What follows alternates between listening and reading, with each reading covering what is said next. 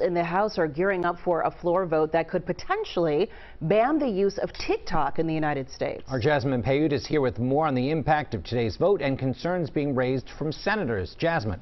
Good morning, Jim Janelle. From TikTok dances to informative posts, millions of Americans use TikTok for different reasons. But lawmakers say they have concerns about data security and foreign influence. It's the latest move in a years-long battle to limit the app.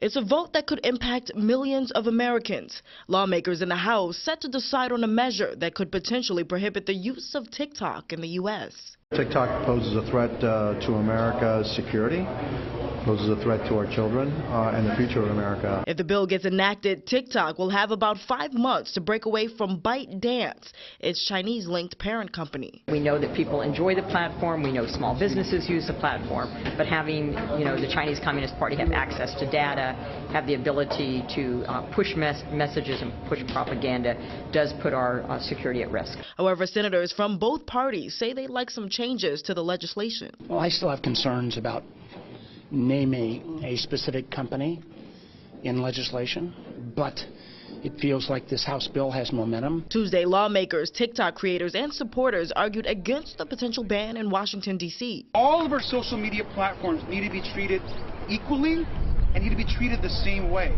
Not a single thing that we heard in today's classified briefing was unique to TikTok.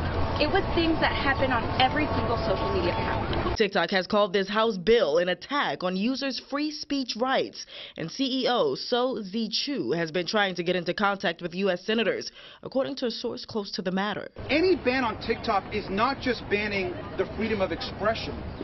You are literally causing huge harm to our national economy. The ACLU issued a statement saying a potential ban on TikTok would violate the First Amendment right. When Donald Trump was president, he supported calls to ban the app, but he appears to have now backed away from that stance. President Biden, however, told reporters that he supports the bill and will sign it if passed. So we will continue to watch out for this. Janelle, I'll send it to you. A lot of people watching that story closely. Jasmine, thank you so much for that.